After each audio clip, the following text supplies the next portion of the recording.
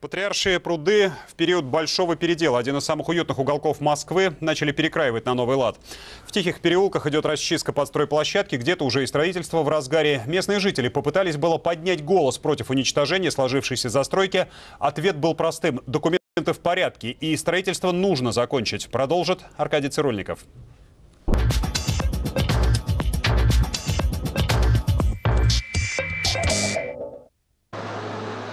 Когда привычную тишину малого Казихинского переулка в очередной раз нарушает грохот строительной техники, местным сторожилам не помогают уже ни валидол, ни валерьянка. Последней надеждой был Роспотребнадзор, но прибывшие инспекторы с шумомером зафиксировали лишь какой-то тихий шорох. Дело в том, что основная да, машина в этот момент не работала. Механизм был заглушен а, по неизвестным нам причинам.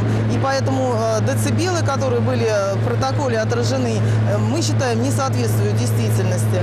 Шум пройдет, отреснувшие стены и подмытые фундаменты соседних домов останутся. Под этими кварталами течет подземная река, кругом бьют ключи. Из-за этого здесь никогда прежде не строили глубоких подвалов, старались максимально облегчить перекрытие. А теперь строители огромного железобетонного новостроя углубляются под землю на целых 10 метров. Известная актриса Татьяна Догилева вот уже четверть века живет возле патриарших.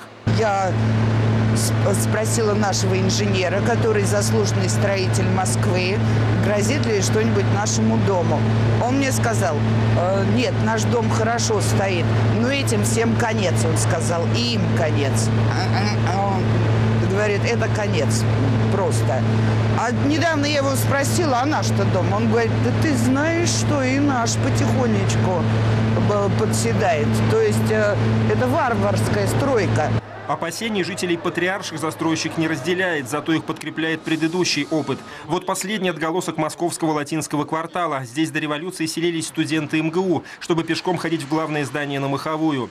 Теперь над опустевшим и аварийным домом нависает махина новой многоэтажки, построенной на месте Палашовского рынка. А это здание позапрошлого века, иначе как дом-маячок, никто уже и не называет. Имеются в виду маркеры для отметки трещин на стенах. Трещины появились одновременно с болотом в подвалах и все с той же бетонной громадой по соседству. Сколько сюда влито бетона уже просто неизвестно. В доме все время в подвалах стоит вода, и совсем недавно треснула арка. То есть вот еще 1 сентября мы с ребенком проходили через нее. Потом арку закрыли, поскольку дому угрожало полное затопление, и пошли трещины через арку. Сейчас арка закрыта, и там ведутся укрепительные работы. Исторические здания возле Патриарших оказались никому не нужны. Памятник федерального значения, старинная усадьба Сыти, пережила пожар 1812 года, а теперь ветшает с катастрофической скоростью. Весной этого года это здание было отдано э, земельному банку, соседнему э, зданию, и э, земельный банк должен отреставрировать. Но никаких работ они не ведут, и мы можем говорить о том, что это здание разрушается. Точно так же разрушается и усадьба Салтыковой, выходящая фасадом на Новопушкинский сквер.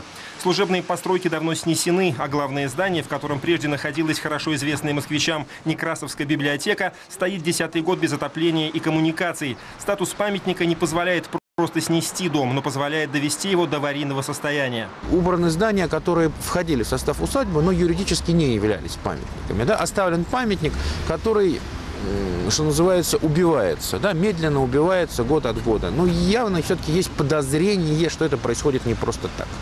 Создается впечатление, что сами по себе исторические кварталы в центре, в отличие от земли под ними, никакой ценности для города не представляют. В том же Малом Казихинском стройку решено продолжать, потому что заморозить ее сейчас посчитали опаснее, чем довести до конца. На этой стадии, конечно, ни в коей мере нельзя остановить строительство. Наоборот, его надо вести интенсивнее и быстрее заканчивать. Правда, есть оговорка. Стройка в дальнейшем может быть закрыта, если застройщик не обеспечит сохранности близлежащих строений. Часть жителей считает это победой и готовится предъявлять экспертам свои пострадавшие квартиры. Другие понимают, что эти эксперты могут оказаться столь же объективными, как и те, что недавно измеряли уровень шума на стройплощадке. Аркадий Цирульников, Рубен Миробов, Вести, Москва.